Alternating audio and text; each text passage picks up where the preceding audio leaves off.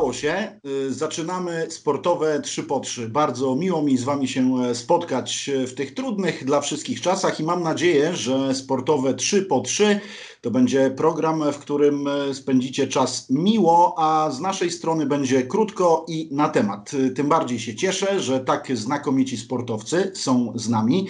Katarzyna Skowrońska-Dolata, znakomita siatkarka, już po zakończeniu swojej kariery. Witam Cię, Kasiu. Witam, dzień dobry wszystkim.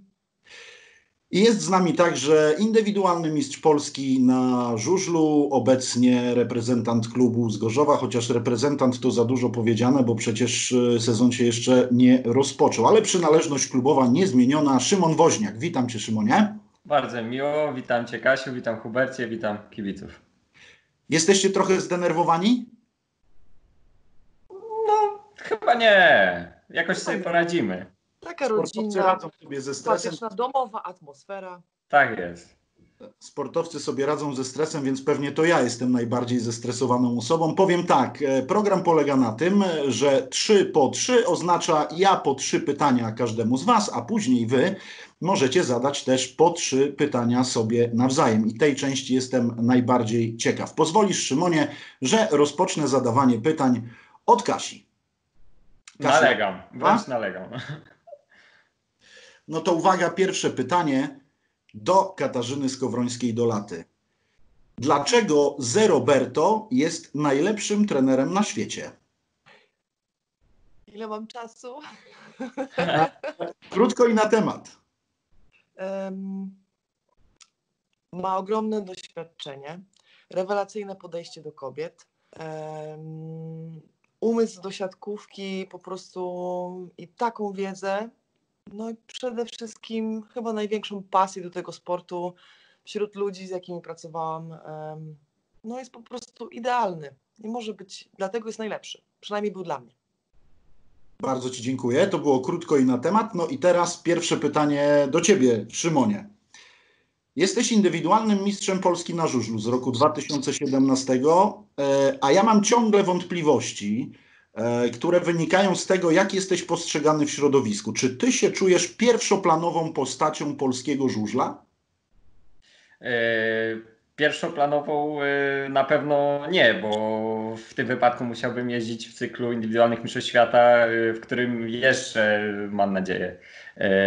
Nie jeżdżę, ale, ale mam nadzieję, że to się niebawem zmieni. Ale na pewno z roku na rok moja dyspozycja rośnie pełnię coraz to ważniejsze funkcje e, w zespole. W zeszłym roku w Stali Gorzów e, byłem, można powiedzieć, drugą siłą zespołu. E, także moją strategią konsekwentnie, krok po kroku pnę się coraz wyżej i mam nadzieję, że w przyszłości tą pierwszoplanową postacią się stanę. W jak dalekiej przyszłości? Eee, no jeszcze z tą dwójką z przodu. Jeszcze póki dwójka z przodu. Eee, mamy świetny przykład Bartka z Marzlika, który jest dwa lata młodszy ode mnie, już jest indywidualnym mistrzem świata, także tutaj już nie ma co zrzucać na, na młody wiek. Eee, trzeba się rozpędzać i, i nabierać wiatru w żagle. No to po jednym pytaniu, czas na drugie pytanie do Kasi. Mam nadzieję, że nie zdenerwowałem i nie zaskoczyłem Cię pierwszym pytaniem, a drugim mam nadzieję Cię trochę e, zaskoczyć. E, powiedz, kto remontował Twoje mieszkanie w Warszawie?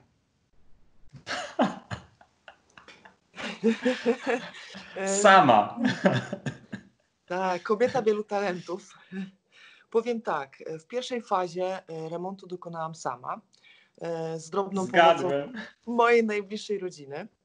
E, musiałam się pomostować niestety naprawdę fachowcami przy zrobieniu e, legarów i podłogi profesjonalnie, bo tego nie potrafiłam, ale mnóstwo rzeczy w mieszkaniu zrobiłam sama. Trudne to było zadanie? E, to było takie wyzwanie, bo miałam dużo wolnego czasu i chciałam po prostu się trochę zrealizować i podjęłam rękawicę. Tak, jestem mistrzem w swoim domu. O, to jest właśnie hasło na te trudne w tym momencie czasy. No to czas na drugie pytanie do Szymona Woźniaka. Szymonie, to będzie troszkę nawiązanie do sytuacji, w której się teraz znajdujemy i wielu głosów, które się w środowisku żużlowym pojawiają. Czy jechać bez kibiców e, i czy jechać bez awansów i e, spadków? Jaka jest Twoja opinia? Moja opinia jest taka, że jeżeli mielibyśmy do wyboru pojechać bez kibiców e, lub nie pojechać wcale, to, to zdecydowanie bardziej wolę pojechać bez kibiców niż pokazywać im przez cały rok e, powtórki z zeszłych sezonów, e, bo już powoli mamy wszyscy tych powtórek dość, a jeżeli chodzi o awanse i spadki. Wydaje mi się, że jeszcze jest chyba trochę za wcześnie na podejmowanie takich decyzji. Tak naprawdę nie wiemy, kiedy sezon się, się zacznie, z jakimi konsekwencjami to wszystko się e, skończy, dlatego myślę, że e, tą decyzję trzeba będzie podjąć bezpośrednio przed startem ligi. No i czas na kolejne pytanie do Kasi w takim razie. Y, to też nie będzie łatwe pytanie. Wrócimy do piłki siatkowej, Twojej y, ukochanej dyscypliny, Kasiu. Jak oceniasz siłę Ligi Siatkówki Kobiet na tle lig zagranicznych, w których występowałaś? Połóż najpierw rękę na sercu, a później odpowiedz. No to nie jest łatwe pytanie, bo generalnie sklasyfikować poziom ligi e, na tle innych dosłownie jest bardzo ciężko. Jakbyś mnie poprosił o porównanie tureckiej do ligi tureckiej do ligi włoskiej też nie byłoby mi łatwo powiedzieć, bo tak naprawdę każda liga jest inna. Wydaje mi się, że my nie jesteśmy jeszcze w czołówce najlepszych lig na świecie, e, w takiej ścisłej czołówce, ale robimy bardzo duże postępy. Liga jest coraz bardziej profesjonalna, e, zespoły uczą się od tych najlepszych, obserwują. E, moim zdaniem dużo dają puchary europejskie e, naszym działaczom klubowym. Uczymy się, rozwijamy. No i walczymy o to, żeby było lepiej. Ja osobiście grałam w lepszych ligach niż Liga Polska, ale nie chcę krytykować naszej, bo uważam, że jesteśmy na dobrej drodze i robimy postępy, a to, to jest najbardziej e, pozytywne w tym wszystkim. To dopytam tylko, która liga w takim razie była najmocniejsza, najlepsza Twoim zdaniem, w której grałaś? Włoska i brazylijska. Nie może być dwóch, jedna. Najlepsza może być jedna. Liga włoska. Bardzo dziękuję i cieszę się, że szczerze podchodzisz do tematu. Szymonie, no to uwaga, trzecie, ostatnie pytanie z mojej strony do Ciebie, a w zasadzie to jest pytanie nie ode mnie, a od kibiców e, z regionu kujawsko-pomorskiego, głównie z Bydgoszczy, bo tutaj masz ciągle wielu fanów. Czy oni mogą liczyć na... Dlaczego ja wiem już, co to będzie za pytanie? No to Nawet skoro... nie musisz kończyć, ja już mogę zacząć odpowiadać. To odpowiadaj, proszę. Eee, wiem, że ma być krótko i na temat, ale na to pytanie nie da się tak odpowiedzieć. Eee, kibice doskonale wiedzą, że ja w tej chwili bardzo mocno trzymam kciuki za Polonię Bydgoszcz i niesamowicie się cieszę, że awansowała do pierwszej ligi, że te najgorsze czasy ma już za sobą i, i wierzę w to, że będzie się piła w górę i rosła w siłę. Eee, ja w tej chwili jeżdżę dla Stali Gorzów i, i to jest odpowiednie miejsce do mojego rozwoju, który jest dla mnie teraz najważniejszy. E, w Gorzowie czuję się dobrze, Bydgoszczy życzę jak najlepiej, trzymam za nią kciuki. E, no i mam nadzieję, że kiedyś e, te drogi Stali Gorzów i Polonii Bydgoszcz się skrzyżują, a w jakim zespole będę jeździł, tego nie wiem, na pewno nie mówię nie, a, a zawsze się kieruję tym, żeby jeździć tam, gdzie będą dla mnie najlepsze warunki rozwoju. Dlatego nie wybiegam daleko w przyszłość, a za Polonię Bydgoszcz trzymam kciuki. Nie wyobrażam sobie w imieniu kibiców bydgoskich, że przyjeżdżasz na bydgoski tor jako reprezentant innego klubu. To Tomasz Golob przyjechał jako Stal Gorzów do Bydgoszczy na mecz ligowy. Nawet y, startowałem przeciwko niemu jako zawodnik Polonii Bydgoszcz, także myślę, że e, kibice bydgoscy przeżyli już dosłownie wszystko. Kończymy tym samym rundę moich pytań e, po trzy e, dla e, każdego z uczestników. Czas teraz, żeby to było prawdziwe trzy po trzy, bo dwie pozostałe osoby, czyli Kasia i Szymon, będą pytać siebie nawzajem. Bardzo proszę, Kasiu, jako kobieta, ty pierwszy zadaj pytanie Szymonowi. Powiem tak, ja nie mam przyjemności jeździć dwuśladem, ale uwielbiam jeździć autem. I tak się właśnie zastanawiam i bardzo się cieszę, że mogę zadać to pytanie Tobie. Jak to jest jeździć bez hamulców? Yy, to jest pytanie, które bardzo często yy, ludzie nam yy, zadają i ja staram się po prostu wyjaśnić, że to, że my jeździmy bez hamulców, to nie jest tak, że jeździmy bez hamulców, bo, bo chcemy być po prostu hardkorowi, bo chcemy być fajni, żeby dodać e, jakiegoś tam, e, jakiejś adrenaliny e, do naszego sportu. Nasze motocykle nie są wyposażone w hamulce, bo po prostu najzwyczajniej w świecie nie są nam potrzebne i byłaby to jakieś dodatkowe niebezpieczeństwo, dodatkowa waga. Wyobraźcie sobie, że zawodnik przed nami hamuje i ten drugi po prostu może go zahaczyć, uderzyć. Y, przede wszystkim nie mamy hamulców, bo one nie są potrzebne. Na żużlu chodzi o to, żeby jeździć y, jak najszybciej, a nie żeby hamować. Trzeba szukać innych linii niż przeciwnik, y, a, a, a nie po prostu dać się blokować. Także takie jest piękno tego sportu i dla nas nie stanowi to żadnego problemu. Tak naprawdę musimy po prostu po wyścigu poczekać, aż motocykl sam wytraci prędkość i wtedy możemy zjechać z toru. A nawet gdyby te hamulce były, to bym ich po prostu nie używał. Ja widzę, że prowadzący tu jest niepotrzebny. Przypomnę tylko obu y, naszym gościom krótko i na temat, bo to jest trzy po trzy. Nie zdążycie zadać. Szymon, teraz ty pytasz Kasię. Okej. Okay. No dla mnie podstawowe pytanie, czy jest y, cokolwiek, co łączy Kasię Skowrońską y, ze Speedwayem?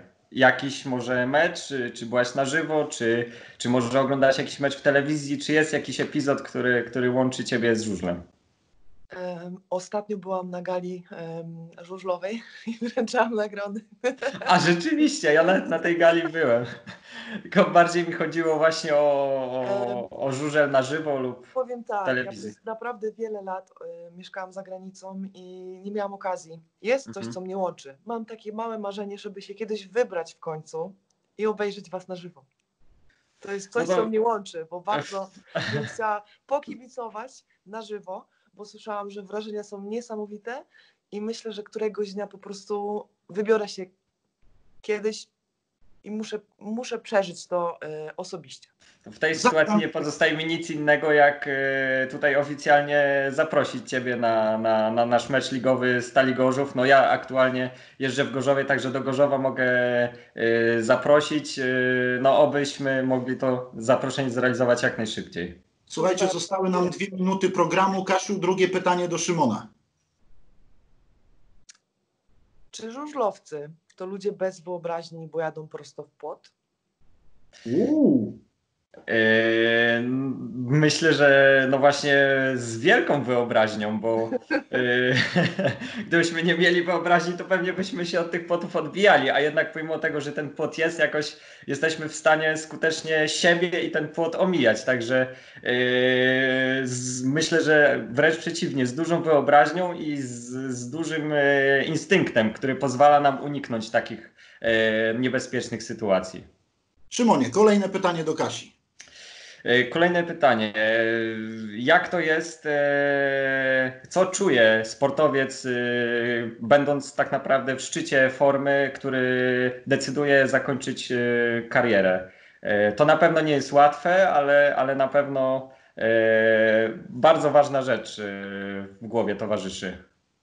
Ja bardzo długo się przygotowywałam do zakończenia kariery i nie ukrywam, że dużo emocji miałam w sobie i tak naprawdę mm, serce na ręku, bo z jednej strony byłam u szczytu swojej kariery i mogłabym dalej kontynuować, a odcięłam sobie prąd. Mhm. Ale czuję spełnienie i satysfakcję. I to są dwa uczucia, które y, towarzyszą mi do dzisiaj. I dlatego mam poczucie, że dokonałam dobrej decyzji. Okej. Okay. To czas na pytanie, y, Kasiu, do Szymona. Ostatnie twoje. Ja myślę, że trochę prywaty by się przydało, więc zapytam się ciebie wprost. Jakie masz marzenie? E, oczywiście, jeżeli chodzi o sport, to, to moim marzeniem wciąż jest e, tytuł indywidualnego mistrza świata. Kiedyś był indywidualny mistrz Polski, to udało mi się e, zrealizować e, trzykrotnie w każdej kategorii wiekowej, także teraz e, czas na jakiś medal e, międzynarodowy. Yy, a jeżeli chodzi o, życie prywatne, no to po prostu chcę, chcę, żeby moja rodzina była zdrowa, chcę yy, dawać tyle siebie, ile mogę moim yy, bliźniaczkom Gabrysi i Uli, które aktualnie wychowuję, także chcę być po prostu dobrym mężem i ojcem. No to ostatnie pytanie w tym pierwszym odcinku sportowego 3 po 3. E, no to jak przeszliśmy już do tej prywaty, ja też pójdę za ciosem i, i zapytam o, o, przyszłość Kasi Skowrońskiej. Czy, czy jest już jakiś pomysł, czy na razie po prostu cieszysz się tym, czego nie miałaś przez e, wiele lat, czyli po prostu wolnym czasem? Jedno i drugie. Pomysły się rodzą, e, jakieś plany i marzenia też. Próbuję się realizować, uzupełniam zaległości rodzinne, uzupełniam swoje pasje i zamiłowania, które mam i zawsze miałam, a nie miałam na nie czasu, bo cały czas był ten profesjonalny sport. No i jakieś plany mam, ale pozostawię wszystkich w niepewności, bo póki co jeszcze w realizacji. Okej. Okay. W takim razie trzymamy kciuki. Zostało pewne niedomówienie, ale to dobrze, bo to pierwszy program sportowy 3 na 3 kolejne przed nami. Pytanie ostatnie ode mnie do naszych gości. Kasiu, Szymonie, najpierw Kasiu, jak Ci się podobało? Powiem Wam, że mało czasu mamy na tej antenie. O. Aha, ja wiem, że można by pogadać dłużej, ale y, krótko i na temat to jest takie właśnie stwierdzenie, które ma być mottem, żeby każdy przy śniadanku mógł sobie też odtworzyć taką naszą tak, e, rozmowę. Tak, chodziło mi po prostu o to, żeby powiedzieć, że tak szybko to minęło, że ta kawa będzie nie zdążyła, kawa nie zdążyła wystygnąć nawet, Hubert. Tak. Przesadziłeś z tym czasem. A no to jest też koncepcja do tego, żeby może spróbować dłuższe rozmowy y, kontynuować. Bardzo Wam dziękuję. Y, mam nadzieję, że ten program spotka się ze sporą interakcją także naszych widzów i internautów, bo jesteśmy przede wszystkim premierowo w internecie www.bydgoszcz.tvp.pl, na kanale na YouTubie, na Facebooku, ale też na Twitterze sporo informacji e, znajdziecie. Ja się cieszę, że ten pierwszy program za nami, bo tak jak mówiłem, stresowałem się nieprawdopodobnie. Praca domowa to zawsze był stres od dziecka. Nawet gdy człowiek jest już dorosły i ma sporo doświadczenia, to praca domowa może stresować. Ślicznie Wam dziękuję za ten niespełna kwadrans, który za nami. Do zobaczenia w następnym odcinku Bardzo dziękujemy. sportowego 3 po 3. Katarzyna Skadolata i Szymon Woźniak też Was pozdrawiają. Pa, pa! Pa, pa.